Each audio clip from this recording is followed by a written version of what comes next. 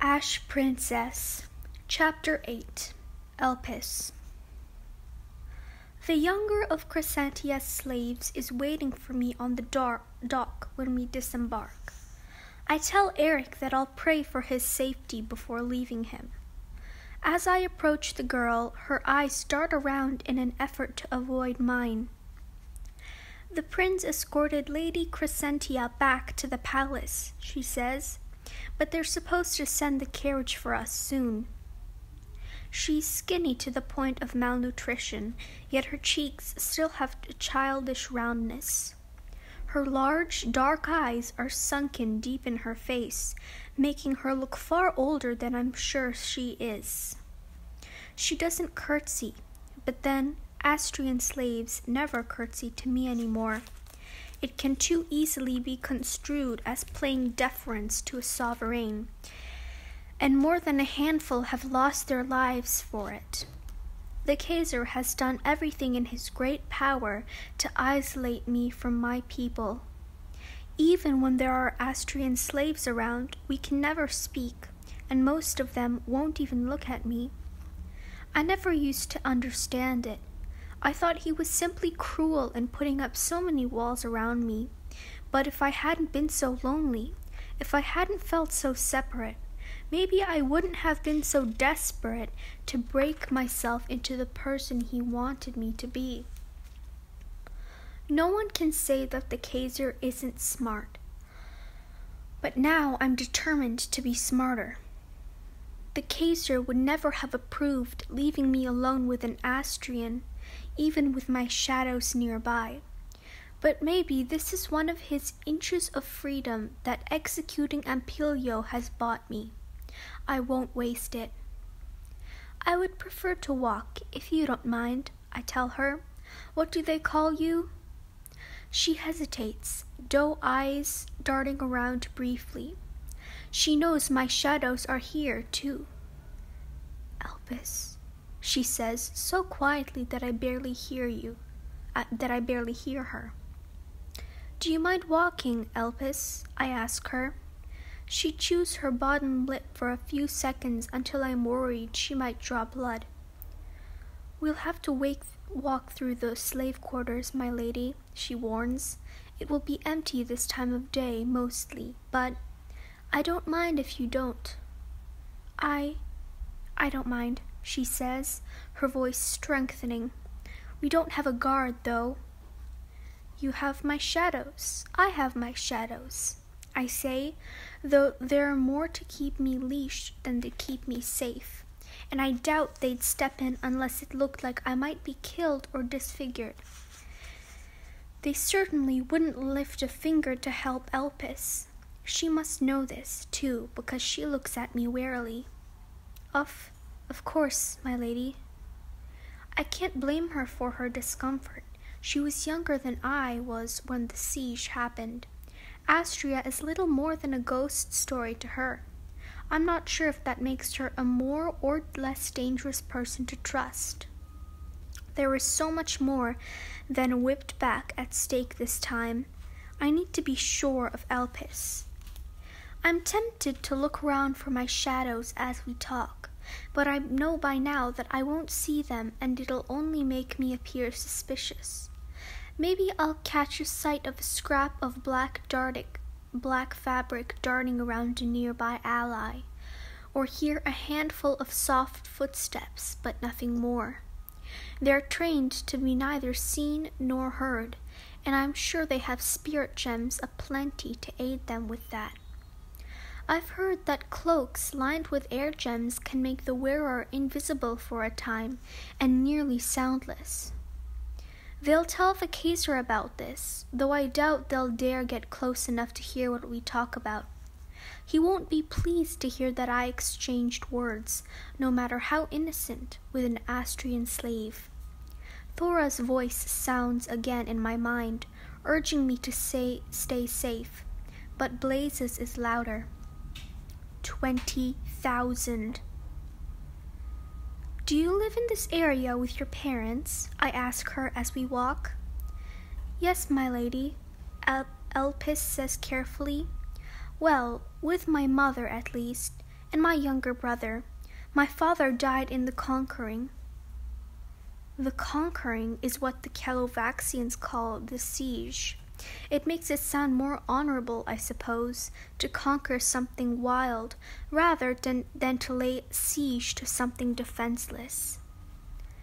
I'm very sorry to hear that, I tell her. What does your mother do?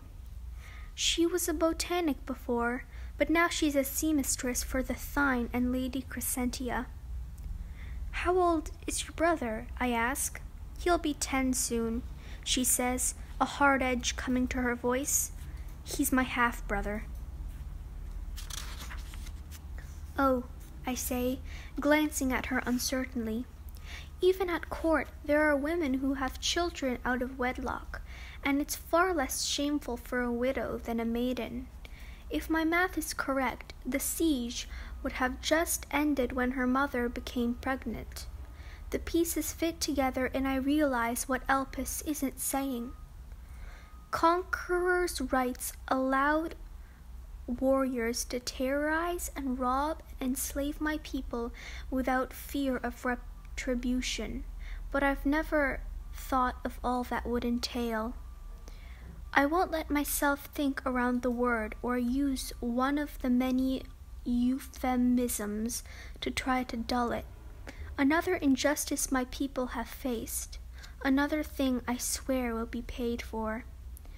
Elpis isn't as practiced at as hiding her anger as I am. It plays over her face like words on a page, evident in the tension in her jaw and the intense focus of her eyes. She could turn a person to stone with a gaze like that. It's an anger I know too well. Elpis isn't loyal to the Kaiser, I'm sure of it, but that doesn't mean she'll be loyal to me. I'm not her queen, after all. I'm a spoiled, sheltered girl who is friends with the one who keeps her chained. I have to take a moment to translate my words to Astrean in my mind before I say them. Does he look like them? I ask, her quietly, dropping my voice to a whisper. I keep a tight hold on my smile so that it will fool my shadows into thinking I'm babbling about some silly, something silly and inconsequential. Hopefully, after years of watching me do nothing of interest, they won't expecting they won't be expecting anything more now. I'm poking at a bruise. Elpis flinches at my words, but I don't back down. I need her anger. I need her to know it isn't hers alone to bear, that I am on her side. Her eyes narrow and she opens her mouth to answer before clumping it shut again. Yes, she says shortly in Kalovaxian, before switching to Astrean and lowering her voice so that even I can barely hear her. What is it you want from me, my lady? She asks, her voice tight. The streets are deserted, though there are sunken eyes watching from broken windows. Children too young to work, the ill and the elderly. Hoa must live somewhere around here when she's not with me. The thought strikes me as strange. It isn't something I've ever wondered about. What do you want? I ask Elpis. Her eyes dart around, searching for the shadows too the ears that are always listening, the eyes that are always watching. They're not here, though, I assure myself, not close enough, anyway. But I don't fully believe it. I've been wrong too many times before. Is this a trick, my lady? she asks, switching back to Kalovaxian. She doesn't trust me, and why should she? She's watched me for years with Cress. She would be a fool to trust me, and she's lived too rough a life to be a fool.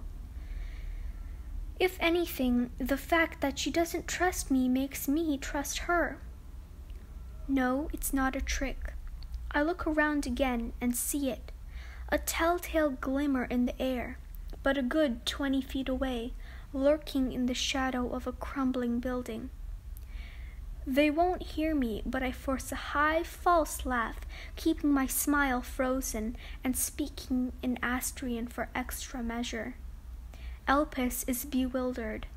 Smile, I tell her, and she instantly obeys, though there's a touch of fear in her eyes.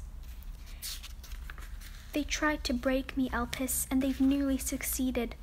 I let my fear cow me. I let them cow me. But I'm done. I'm going to make them pay for everything they've done to us, to our country, to our fathers and our mothers. Will you help me? I hold my breath. Elpis has grown up in this world. She has never known anything else. She could turn me again she could turn against me for her freedom and enough food to keep her family satiated, and I couldn't blame her for it. It's a difficult world for Astreans to survive in, and I haven't seen the worst of it. I am no more her ruler than the Kaiser is, and what does she care, really, so long as she's safe and warm and fed? But when her eyes meet mine, they are burning with venom. Her gaze is lethal, but not to me. Her anger only feeds mine until we are matched, hate for hate. Yes, Your Majesty, she whispers, stumbling over the Astrean words. I'm surprised she even knows them. Your Majesty. The Kalovaxians don't use that term, so the only person I've ever referred to that way was my mother. I know Elpis means well, but hearing it only makes my heart ache.